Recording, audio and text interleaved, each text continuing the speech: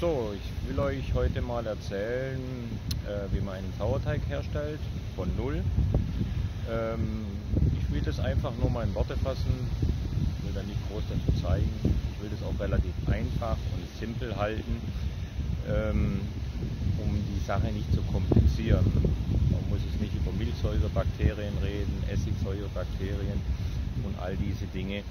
Ähm, ich versuche einfach, das so simpel wie möglich zu halten. Und äh, ich habe festgestellt, dass letzter Zeit werden also sehr viel äh, wird überall gezeigt, wie man solche Sachen herstellt und jeder versucht es noch ähm, expliziter und noch besser zu erklären, was ich auch irgendwo von einer Seite in Ordnung finde. Auf der anderen Seite ist es für eine andere Gruppe von Leuten zu kompliziert. Es gibt ja Bäcker, die sind im Theoriebereich unwahrscheinlich stark und äh, die wissen alles. Und dann weiß man natürlich nicht, also mein zwischen Theorie und praktisch ist das immer eine andere Sache. Ich selber zähle mich nicht zu den Bäckern, die im Theoriebereich äh, so viel Fachwissen haben. Ich zähle mich mehr zu den, ich würde sagen, Instinktbäckern. Ja, und ähm, diesbezüglich versuche ich mal meine Sachen so aufzuzeigen und so zu erklären, wie ich sie äh, sehe und wie ich sie fühle. So, der erste Schritt für einen Sauerteig ist relativ einfach.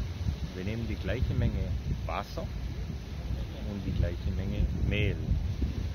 Dann haben wir Möglichkeiten, verschiedene Möglichkeiten, um die Sache zu beschleunigen, um es äh, in eine gewisse Richtung zu lenken, möchte ich einfach mal sagen. Wir können auf der einen Seite nur das Mehl mit dem Wasser vermischen in einem geschlossenen Behälter, vorzugsweise Glas, zu und dann 24 Stunden bei Raumtemperatur stehen lassen. Das wäre der erste Schritt. Wir können aber auch hier, was weiß ich, jetzt mal, mal eine Mengenangabe machen, wir nehmen 100 Gramm Mehl und 100 Gramm Wasser, wir vermischen das, dann können wir auch äh, zum Beispiel zwei Rosinen reinpacken. Die Rosinen, die pürieren wir vorher mit einem Stabmixer und dann mischen wir die rein. Warum? Überall haben wir Bakterien, Hefen in unseren Händen. Also nicht nur Coronavirus haben wir hier, sondern wir haben auch äh, äh, Hefen. Überall äh, sind wilde Hefen in der, in der Natur und die helfen, die Sache anspringen zu lassen. Genauso Rosinen, da ist Zuckeranteil dabei, da ist äh, haben gute wilde Hefen. Das ist also relativ interessant. Wir können auch, was weiß ich, einen Löffel Joghurt nehmen. Man kann ein bisschen Kefir vom Kefir nehmen. Da gibt es verschiedene Möglichkeiten. Ich halte es mal so simpel wie möglich und sage, wenn ihr was anderes machen wollt wie Mehl und Wasser, würde ich eventuell zwei Rosinen empfehlen, die ich einfach mit im Pürierer reinmische. Dann lassen wir das 24 Stunden stehen. Das wäre also der erste Schritt. So, Schritt 2. Nach den 24 Stunden schauen wir uns das Ganze an. Vielleicht haben sich kleine Luftbläschen gebildet bei dem einen oder anderen. Eventuell, wenn es äh, warm war, man kann das ja, was weiß ich, von 22, 24 bis 28 Grad äh, im Raumtemperatur stehen lassen. Oder vielleicht hat jemand da Rosinen reingemacht oder irgendwas. Ich habe auch schon gesehen, also wirklich, dass jemand sowas gemischt hat und am nächsten Tag war das an der Decke. Wunder passieren immer wieder. Ich habe sowas nur einmal gesehen in meinem Leben, aber ich war live dabei und äh, solche Sachen gibt es. Ja, also in jedem Fall, was sich da entwickelt hat, ja, davon nehme ich jetzt mal die Hälfte und schütte ich weg. Ja, das ist einfach, das schütte ich einfach weg. Und dann mache ich es nach, nach, nach meinem Prinzip so, wir bleiben mehr oder weniger, wenn, ich, wenn wir vorher von 100 Gramm gesprochen haben, 100 Gramm Mehl und 100 Gramm Wasser. Und wenn ich davon die Hälfte wegschmeiße, bleiben mir 100 Gramm übrig. Gut. Ich nehme den gleichen Anteil, also sprich, mir bleiben 100 Gramm übrig, nehme 100 Gramm Wasser wieder und 100 Gramm Mehl und vermische das mit dem, was ich vorher hatte. und mache ich das gleiche wieder. Schließe den Behälter, lasse es wieder 24 Stunden bei Raumtemperatur stehen. Das ist alles, was ich zu tun habe. Wir tun nichts dabei und warten wieder auf äh, das Ergebnis. Ja? Schritt 2. So, dann kommen wir zum Schritt 3. Normalerweise sollte sich jetzt schon was tun. Wir machen aber nochmal das gleiche wie bei Schritt 2. Wir nehmen die Hälfte weg, schmeißen die Hälfte weg und füttern exakt, exakt die gleiche Menge Mehl und das gleiche Menge Wasser und lassen es nochmal einen Tag stehen. Ja, das sind also die ersten drei Tage mehr oder weniger im gleichen Rhythmus. Das ist Schritt 3. So, nun Schritt 4 ist ein bisschen unterschiedlich. Nun schmeißen wir mal wieder die Hälfte weg. Beispiel, wir gehen, also wir bleiben jetzt 100 Gramm drin. 100 Gramm dividiert durch 3 sind normalerweise 33,3 äh, Gramm. Jetzt sage ich ganz einfach mal, das ist meine Methode, wie ich das mache, kann mich auch jeder äh, schlagen dafür. Diese 33,3 Gramm, die füttere ich in Mehl und Wasser zu dem restlichen Teig, was drin ist. Also sprich, wir bleiben 100 Gramm drin, dann füttere ich jetzt nur 33,3 Gramm. Das lasse ich vier Stunden stehen bei Raumtemperatur. Nach den vier Stunden füttere ich nochmal die gleiche Menge Mehl und Wasser, 33,3, 33,3. Lasse ich wieder vier Stunden stehen und danach nochmal das gleiche, 33,3, 33,3. Und was mache ich dann? Normalerweise durch den ähm, den Behälter dann bei 18 Grad. Also sprich, jemand muss gucken, im Keller oder, also sprich zwischen 16 und 18 Grad lasse ich ihn mindestens 14 bis 18 Stunden fermentieren. Ich habe dazu einen Weinkühlschrank benutzt. Das war immer relativ einfach. Das ist meine Methode. Es geht natürlich auch, dass man nach diesen drei Schritten das nochmal bei Raumtemperatur stehen lässt. Man muss observieren, man muss nachschauen, ob, wie aktiv war bis dato mein Sauerteig. Hier ist der Punkt, was wir vorhin gesprochen haben. Ähm, es gibt keine Schul. Ähm, theoretisch ist es so und so, kann man sagen. Aber praktisch ist es anders. Wie gesagt, ich habe Leute gesehen, die haben nur mit Hand, also nur mit ihrer Hand Mehl und Wasser vermischt und am nächsten Tag war der Sauerteig praktisch aktiv, um Brot zu machen. Es kann also von Fall zu Fall anders sein. Man muss observieren, sehe ich den Teig mehr schläfrig, der Geruch ist ähm, nicht besonders angenehm, dann muss ich einfach mehr und mehr, mehr füttern, immer in Abständen zwischen, sagen wir zwischen vier und sechs Stunden. Ja?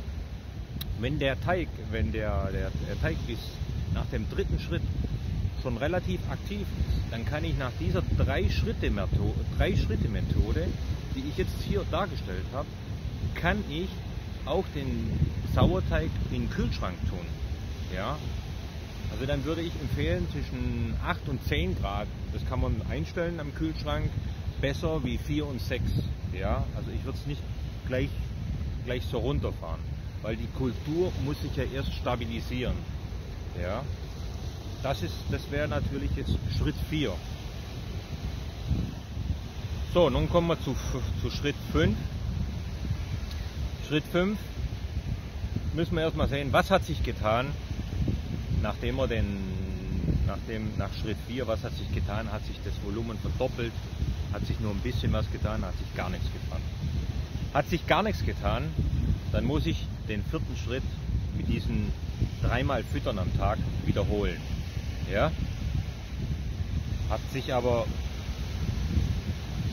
deutlich was getan. Ja, also man kann deutliche Aktivität feststellen, man riecht es auch. Dann kann ich auch mal die Hälfte wieder wegschmeißen, füttern. und dann nehme ich die Zeit.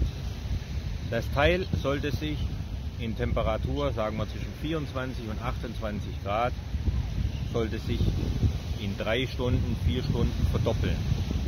Schafft er das, ist er fertig. Dann kann ich davon was abschöpfen und damit ein Brot machen. Ja? Dann ist er aktiv, aktiv genug.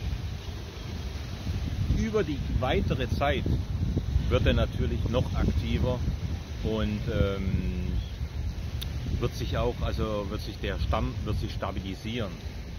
Ja, er wird seinen eigenen Charakter entwickeln.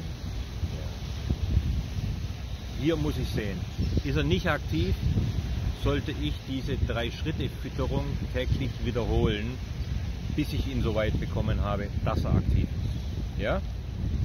Das ist wichtig.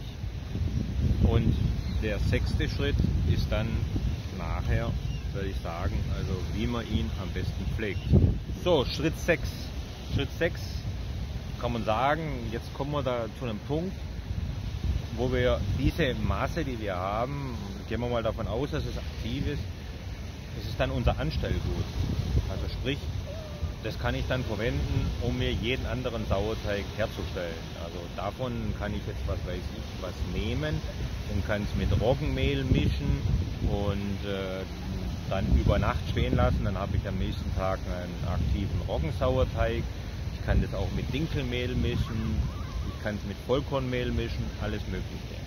Man kann natürlich auch in den Sauerteig, in der Entwicklung vorher, man muss nicht unbedingt alles auf Weizenbasis machen, man kann auch, man kann auch nur, man kann auch ein bisschen Roggen reinmachen. Ja, das hilft auch in der Entwicklung. Also sprich 10% äh, Roggen auf, ähm, auf den Sauerteig ist auch gut für die, für die Entwicklung.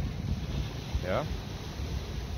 Now wollen wir mal darüber reden, wie man, wenn der Sauerteig also schön aktiv ist, wie man den am besten äh, zu Hause beibehält. Es gibt ja immer wieder die, das Zeitproblem und äh, viele Leute sagen, ja, also ich fütter meinen einmal die Woche. Ich, ich, ich will nichts wegschmeißen und so weiter. Das sind persönliche Einstellungen, das muss jeder selber wissen wie ihr solche Sachen handhabt.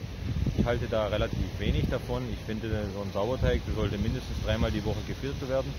Und wenn man dann in einen sauren Apfel beißen muss, dass man was wegschmeißt, dann ist es halt so, kann man nichts ändern. Aber ich kann auch diese äh, Teige, was übrig sind, in anderen Teigen verwenden. Ja?